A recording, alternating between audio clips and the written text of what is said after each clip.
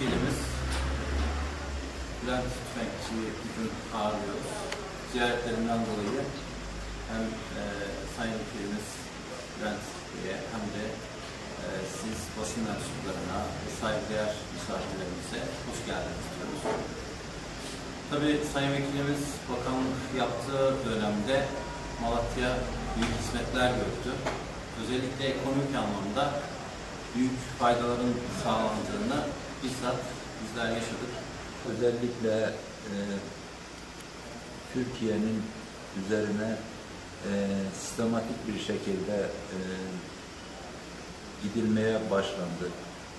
Bu süreç 15 Temmuz'dan e, sonra da devam etti ve e, zaman zaman e, bir takım çevrelerin e, yurt dışı odaklı ataklarını gördük.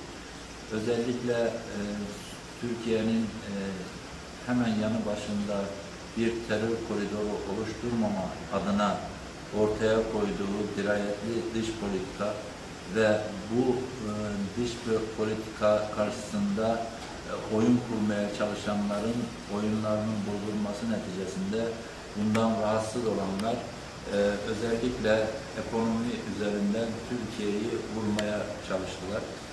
İşte en son e, geçtiğimiz e, günlerde gerçekten Amerika Birleşik Devletleri'nin bir ayıbını e, hep beraber e, yaşadık ve e, ne hukuk, uluslararası hukuka, ne tahammüllere, ne de devlet geleneğine sığmayacak şekilde e, Türkiye'de iki bakanımızla ilgili e, karar aldılar.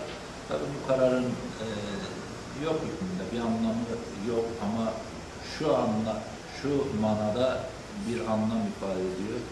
Ee, özellikle FETÖ'yle FETÖ'yü Türkiye'de darbe girişiminde bulunan ve her türlü ispatı yapılan bir FETÖ terör örgütünün başını orada tutarak vermeyenler, e, PKK'ya, PYD'ye e, her türlü yardımı yapanlar, e, insan haklarını bahane ederek ki e, bu terör örgütlerinin ha, hangi insan haklarına saygılı olduğu noktasında veya e, yapmış oldukları zulmü ve insan hakları ihlallerini e, kınayamayanlar e,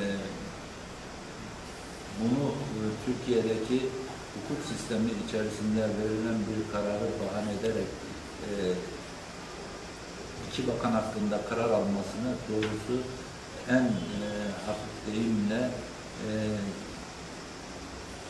ayıp olarak karşılıyoruz. Tırmanışla ilgili biliyorsunuz e, bir takım gerginliklerden dolayı son e, iki gün, üç gündür biraz daha hızlı bir şekilde tırmanma oldu.